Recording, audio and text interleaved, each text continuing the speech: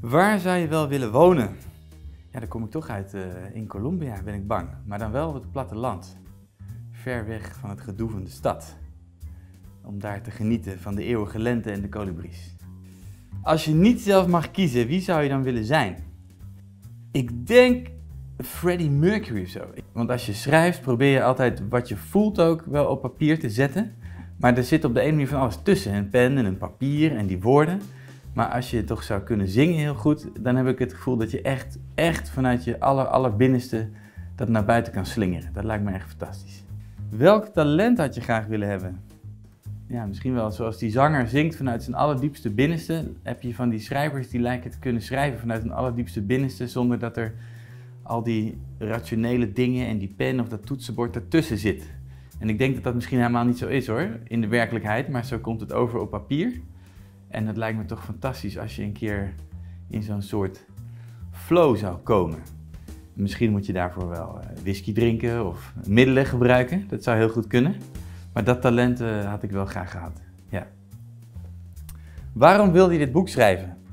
Mm, omdat ik zodra ik las over de familie Pizarro, dacht: in, dit, in deze familie komt alles van een heel land samen. En, en dit is dus het boek dat ik zelf had willen lezen toen ik voor het eerst in aanraking kwam met Colombia. Want ja, alles zit erin. De grote geschiedenis, de kleine geschiedenis, de, de keuzes voor de gewapende strijd, maar ook de funeste gevolgen daarvan voor het land.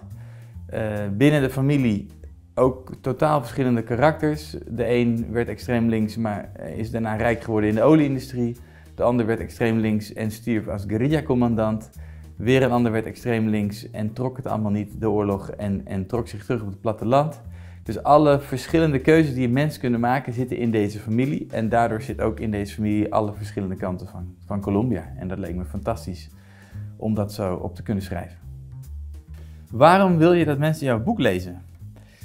Um, nou, ik denk om misschien Twee redenen. Eén, het is ook gewoon een heerlijke familiegeschiedenis volgens mij. Met een, een, een pater familias, een admiraal, een beetje een rechtlijnige, strenge man. En zijn kinderen die eigenlijk in opstand komen tegen alles waar hij voor staat. En hun kinderen die de gevolgen daarvan moeten dragen. En tegelijkertijd is mijn boek een fantastische kennismaking met het Colombia, achter het Colombia dat we allemaal kennen. Waarbij de naam Pablo Escobar wel in mijn boek voorkomt, maar heel terzijde. Uh, waarbij de cocaïne wel in mijn boek voorkomt, maar heel terzijde, omdat het allemaal zeg maar, ingrediënten zijn geweest die erbij zijn gegooid bij de grote geschiedenis en daar wel een hele grote invloed op hebben gehad, maar in die zin niet alles bepalend zijn geweest. Wie is de familie Pizarro in vijf steekwoorden? Hmm. Misschien moet ik gewoon de namen noemen. Het is Juan Antonio, de zakenman. Het is Eduardo, de intellectueel die zich altijd inzet voor de vrede. Het is Carlos, de guerrilla-commandant die presidentskandidaat werd en die iedereen het hart op hol bracht in Colombia. Het is Hernando, de op één na jongste, die een verschrikkelijke moordpartij beging eh, en, en laat zien hoe je in de oorlog helemaal meegezogen kan worden in het zwartste gat wat er maar bestaat. En het is Nina, het enige meisje van de vijf kinderen, met haar ongelooflijk grote hart voor alles en iedereen. Uh, en die ook meegesleept werd door de oorlog, maar uh, besloot om er weer uit te stappen.